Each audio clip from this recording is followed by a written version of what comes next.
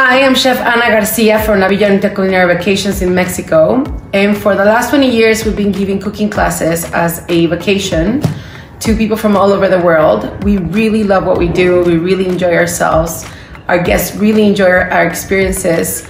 We are here to have fun, to enjoy each other's company, to cook, to learn about cultures. So we're coming back from Puerto Escondido where we have our, our beach weeks and the news is coming out. The world is changing. We know what that means. We know that our guests are not going to be able to travel and visit us.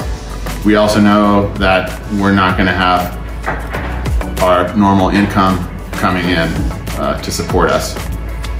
I sat down with Ana and we, we had a chat. We, we decided to think about what we could do in order to help.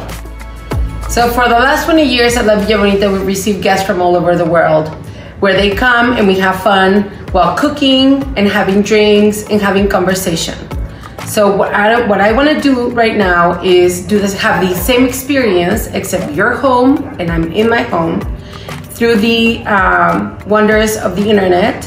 And I pledge that every single day I will do a video where we can have fun and you can get to see what we can do here in, in La Villa Bonita at a future date. I know these are tough times, we're cooped up at home, we have, we're homeschooling, we have our spouses home, and things are gonna be dicey, but we're gonna cook together, we're gonna have drinks together, we are going to have a ton of fun, you and I together. You know I'm here, right? I do know, I'm, Rob. I'm over here on the other side. Yes, my cameraman, Rob, is on the other side.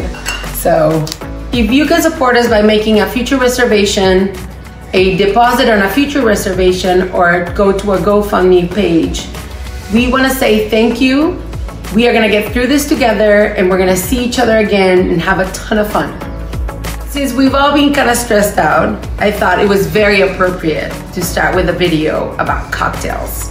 So you're gonna be watching how to make a uh, watermelon margarita. So please follow our videos, watch them, enjoy them, share them. That's super, super important. Let's not make them viral. Let's make them popular and enjoy each other.